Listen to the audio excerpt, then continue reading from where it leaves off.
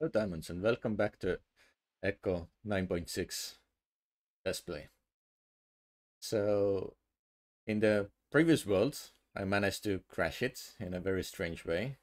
I was unable to interact with any vehicles because I wanted to test some special ones. So this here is our normal truck, which we're kind of used to. And here is the truck that is still in development. It looks much better. Like I'm sure that uh, many who have watched my videos before saw like one of the mods for trailer truck. But it didn't look even half as good as this one. So I really like this one. Yeah, pretty much works like regular truck. The only difference is that you actually have the trailer work properly. It's, a lot of fun. Yeah, I made this small space for driving stuff around and so on. Just for testing. And I will test a lot more stuff later. And I can see that the text is fixed to the main truck. not not to the actual trailer which I hope will be fixed in the future as well, because as I said, it's not even officially available vehicle. Yeah. So if I check the trailer truck stuff, it does know its vehicle, which is good. But when we go to vehicles, it doesn't show up in this list because, well, it's not officially available. But yeah, it looks quite nice. And yeah, you can set the text and everything. Yeah, when we're outside, yeah, the text is still... Eh, it's, it's interesting. And yeah, compared to regular truck, which just moves like this. Let's see if there is any collision. No collision because of the text. That's good. But the trailer itself is supposed to have collision, I guess. So yeah real collision still works, which is excellent. Nice. So the other step I did was to put out both the store and uh, I mean the shop carts and the regular cards. We can see how they look and feel when used in third person. So this is like the regular card when we use it. It's kind of okay. And yeah, I get sometimes there is, you should be closer to interact, which is so strange. So let's close this store. And try to pull that one as well. And yeah, the sound effects and everything is the same. I mean, it literally is the same item, just a lot more on top of it. So yeah. And at the moment, because I haven't done the tutorial, I don't have any food issues or anything. So. And now I get error that the seat is occupied, which is again very strange. Did it take like the fuel out of it when I was taking it up? Which... Ah, it's because I probably just clicked the button before. But yeah, the seat is occupied, error. It's strange. Is it because I just have the third person? Let's test it. So now I'm in first person. Let's move around. Don't we leave? No, still. The seat is occupied. But nevertheless, I will open it up again. Then we cannot pick it up. Yeah, you can have a lot of icons of foods and stuff. Of course, we don't really have any wood foods in this store, but it's kind of unique style. And yeah, regular card of course doesn't have the options to enable, disable or all that, so. But regular wood cart has the text parts, so you can put whatever you want in the text, whilst the store has no such option. As you can see, there's just a store, storage, credit, authorization, and status. It would be probably nice to have like this sign here for like your personal texts. For example, you can say, look, this is this store or that store. At the moment, you need extra sign for that. Or even like this part on the top. It would be very, very good to have text part there. So people, like, let's say you have quite big, like, market area. There are many cards like this. And then you have the shop names on top. Easy to recognize. Yeah, I think I might actually make some type of marketplace so we can kind of take a look on that. So yeah, I will be back in a second. So now I have set up a small like marketplace. So I tried to put like some behind each other. How however people might park them. This bit longer gap. And two facing each other. So of course this place means that you can't really go through and it's a lot of a little bit intrusive in some ways. And also option when you put them back to back really close. Uh, it doesn't look really natural if you put so close two of them. But yeah, it kinda gives one wipe and then just randomly placing few of them Like you always know that some some people will be kind of reckless, so they will leave at random positions. So I did that as well. There was a little bit clipping when like turning and stuff, but I think it's kind of okay.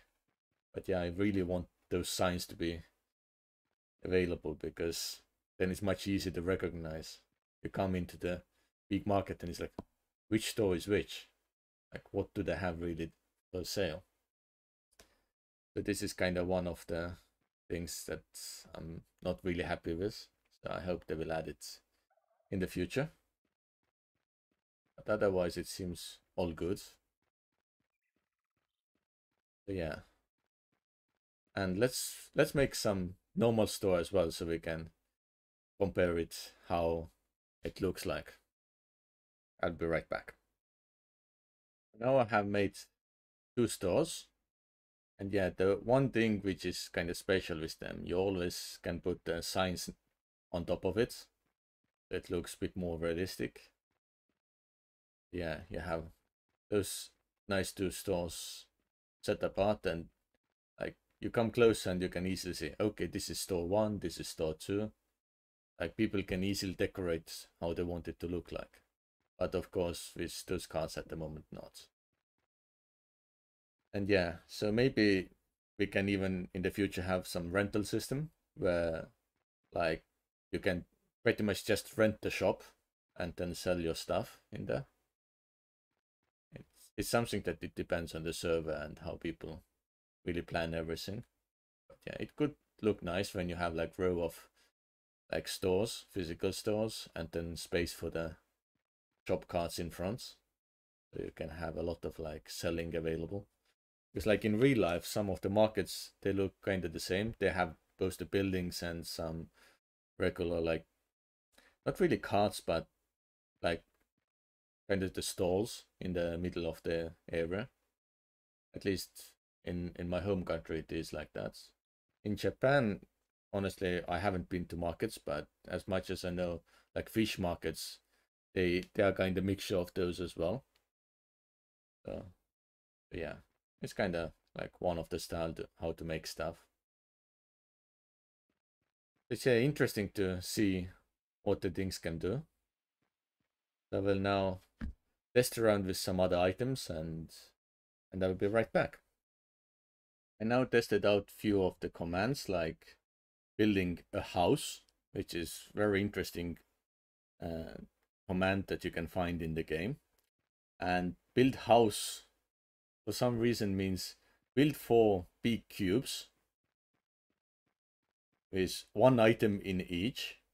For example, the first one is wooden latrine, which literally has the wooden latrine inside.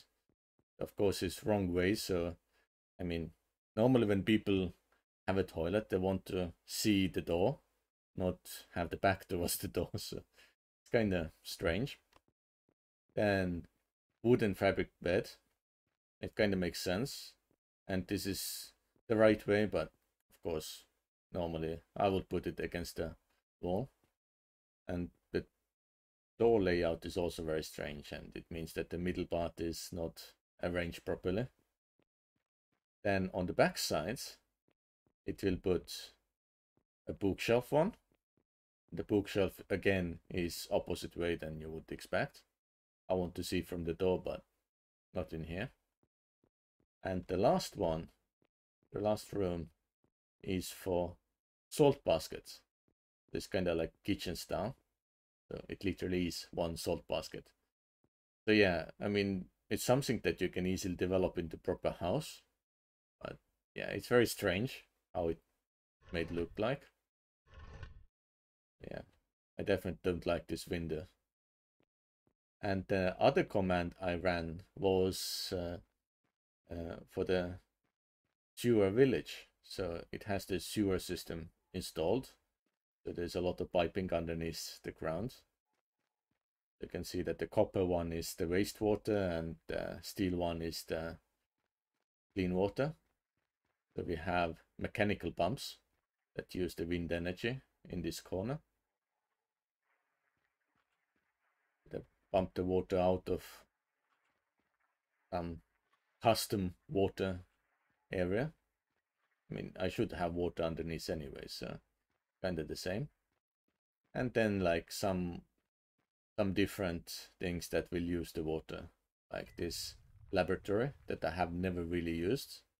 This one I need to build a room to make it properly work. But yeah, so this is where you can craft a lot of stuff like CO2 and ethanol and all the oils and stuff. Uh, definitely something that I would like to try out in the future. It's really advanced. And yeah, so what is this one? Oil refinery. It it it changed the look. And remember it slightly differently. Maybe it did change, not sure. I haven't played with it for like quite a long time. And of course the waste filter. And electrical power by the solar energy. So some of the things that are kind of fun to play around and see how they really work. Yeah. And of course, with that, it gave me a lot of skills, which I'm not sure what to do with. I, I just don't know why it wants to give skills. Ah. Finish the tutorial or skip it. I mean, I can't even see it, so... I have no idea what it's talking about. Yeah, I, I don't see any tutorial buttons, so I need to find out how to get rid of all that. So yeah, it's some of the tests I have done today. I might start looking to build like proper houses and stuff as well. And yeah, before we do anything else, we can, of course, the trades will show what I'm selling in the test store. I was just curious to look what items we have available in overall. There's no real sorting or anything, so I'll make it big so we can see. The advanced combustion engine. I think the icon has changed a bit. I th think it looked slightly different before. I might be wrong, like with everything. What other items are there? Like boiler is kind of the same. way too many items. So regular combustion engine, I kind of remember. But now we have, I thought we had only one. Now we have two of them. It's actually very interesting. Yeah, I only remember this one, but yeah, now there's two different styles the regular copper wiring, ethanol, a lot of different things, food items, fish and chips is quite nicely packaged. Fried vegetables. So it's pretty much just the tag itself, I guess. Like when you do some research, it might have like a note that it needs fried vegetables, so it literally uses this as the as the tag. Like for example, fried tomatoes they go either under the fried vegetables, and then this is the tag itself. Okay, it's interesting to see it in this area. Hydrocolloids, grass seeds. Actually interesting because you can't really make it anyway. It's one of those few items that's is only for developers or like for testing. And I think there were some other seeds as well, like last season uh, Park was looking for those seeds and they were not really available. Infused oil, which is regular item.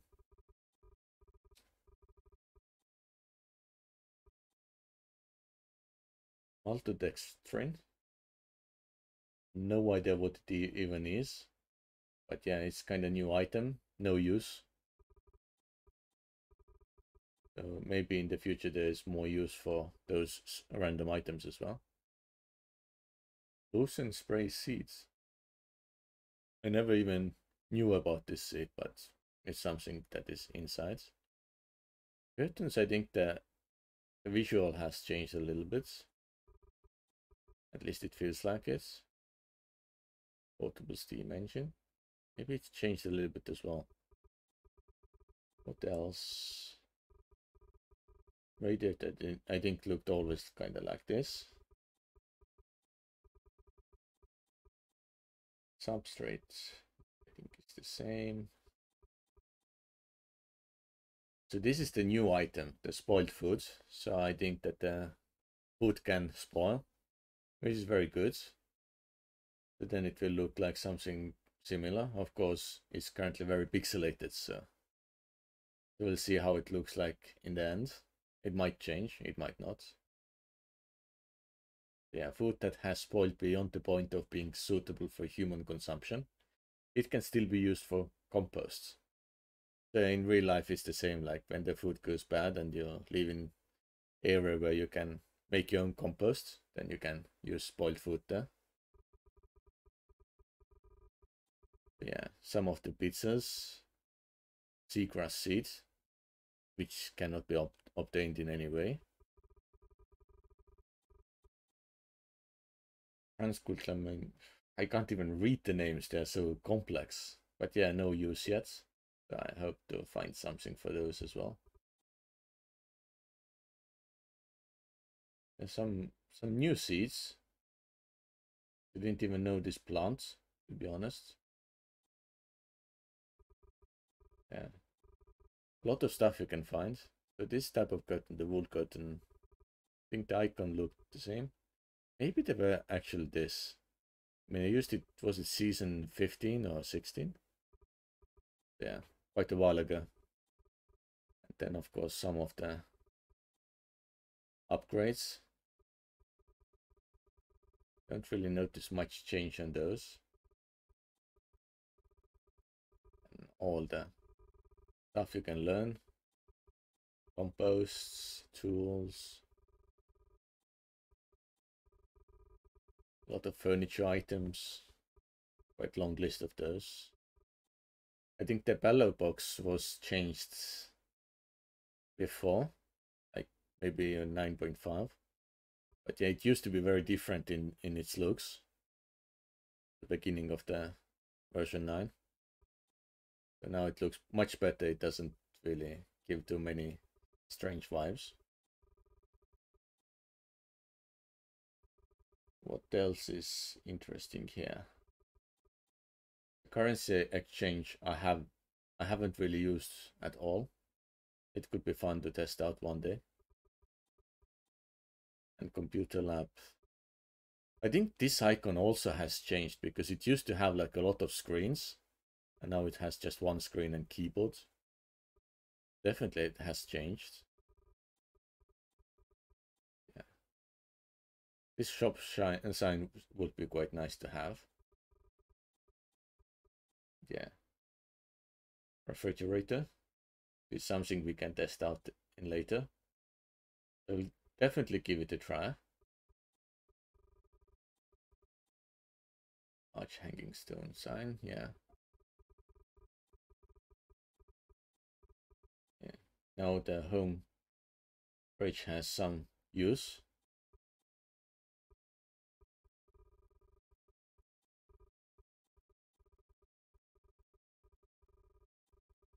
The new items hidden.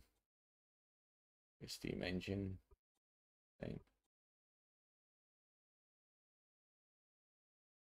Of course, our new shop carts is total new item.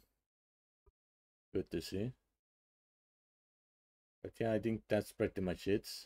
And yeah, maybe in the future there will be some use for the washing machine as well.